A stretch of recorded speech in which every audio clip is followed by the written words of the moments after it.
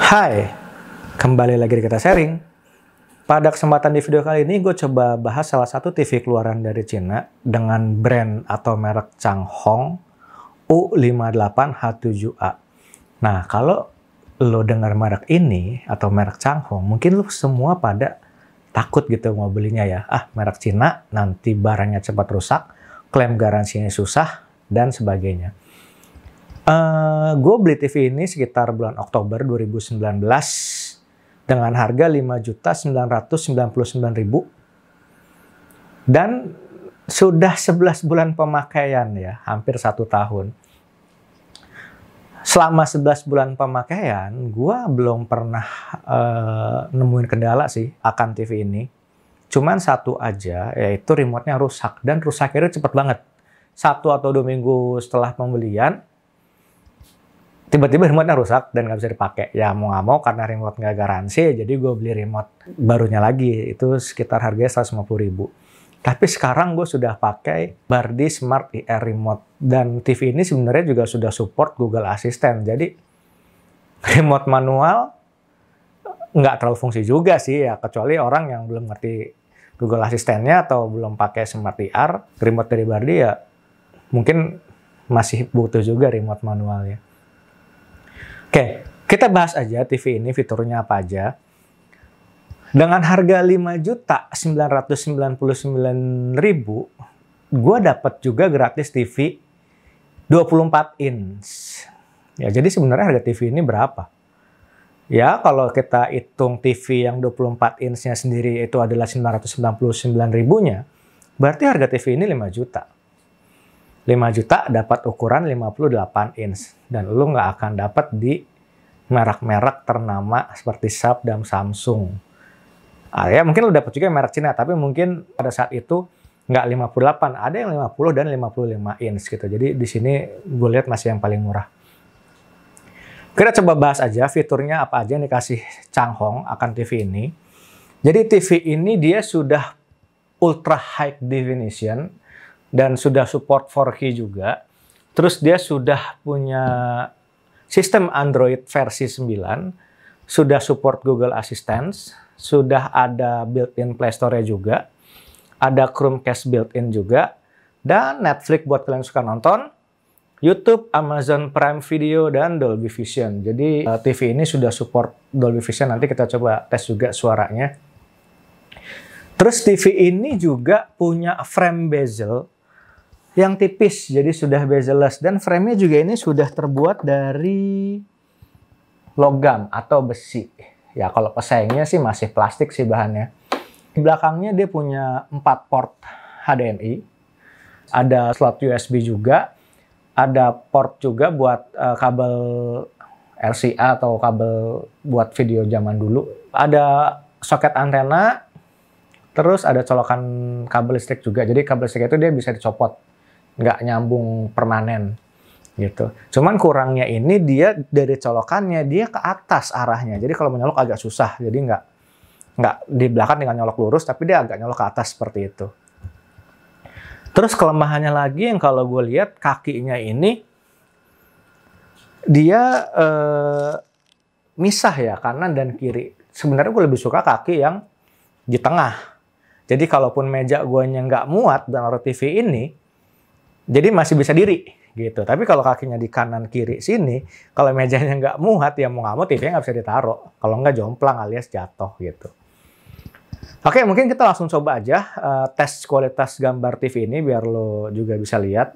Gue sih selama pemakaian gue puas banget sih sama gambar TV ini. Belum ada masalah apa pun juga yang gue lihat. Kita tes aja untuk TV-nya. Di sini gue nggak pakai antena TV ya, karena menurut gue antena TV sekarang udah nggak zaman kena geledek, kena goyang-goyang dikit gambarnya burak. Jadi di sini gue pakai live streaming karena internet sekarang udah di mana-mana. Jadi live streaming lebih enak. Cuman nggak enaknya kalau internetnya itu lagi trouble atau gangguan ya nontonnya jadi berhenti atau nge-freeze. Ya kita coba ya live streaming ya. Gue coba style SCTV.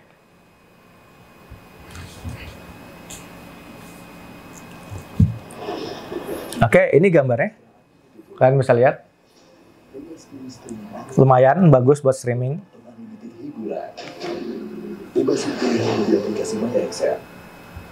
Nah, begini yang tadi gue bilang, kalau yang anaknya kalau streaming, kalau internet lagi trouble, dia muter-muter gitu. Tapi oke okay lah, yang penting kalian sudah lihat uh, kualitas gambarnya.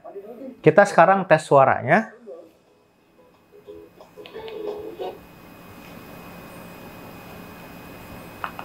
Kita home dulu, sorry. Untuk musiknya kita coba pakai Spotify aja. Ini langsung gue buka aja Spotify-nya.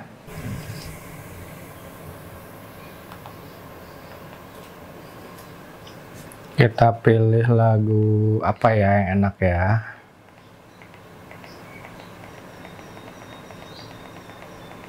Lagu Indonesia aja ya.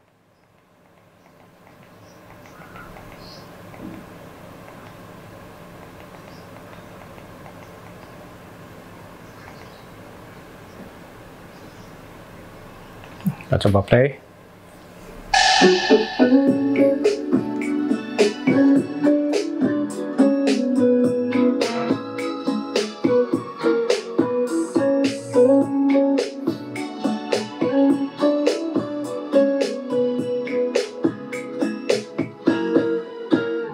Sama-sama saja.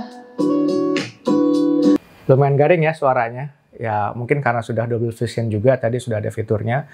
Dan jika kalian juga masih kurang puas dengan suara yang dikasih oleh TV ini, ya kalau gue sih puas. Cuman mungkin selera orang kan pendapatnya berbeda-beda. TV ini juga sudah support Bluetooth dan sudah ada juga jack headphone di dalamnya.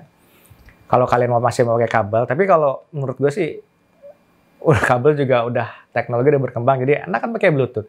Kalian tinggal connect bluetooth ke speaker atau headset kalian kalian sudah bisa menikmati suara dari speaker atau headset kalian melalui bluetooth. Jadi sudah include juga di sini.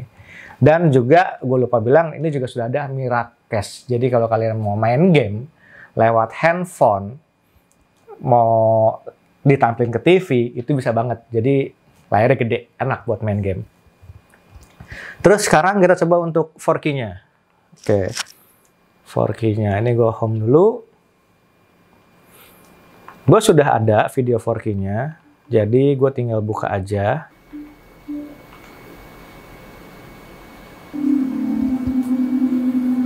Mudah-mudahan kelihatan jelas. Dan yang telah dapat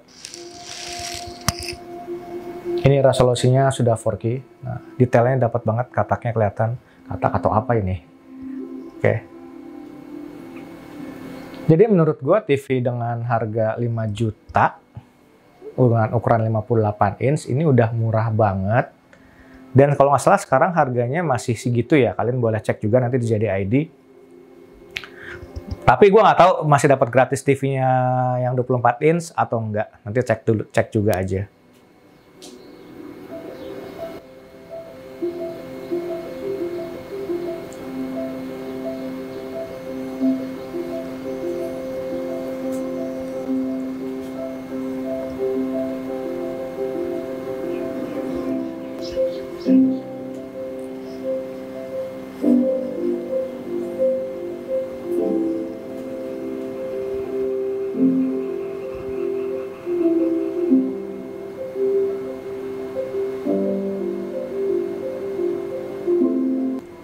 Oke, video 4K kali ini mengakhiri juga video sharing kita kali ini. Semoga video ini bisa bermanfaat buat kalian. Dan jika kalian suka dengan video ini, jangan lupa kalian subscribe, like, and comment video ini. Kalian juga bisa share ke teman-teman kalian video ini jika kalian merasa video ini juga bermanfaat buat mereka. Terima kasih atas waktunya yang sudah menonton. Semoga video ini bermanfaat buat kalian yang sedang mencari TV. Sampai ketemu di video selanjutnya. Salam happy sharing.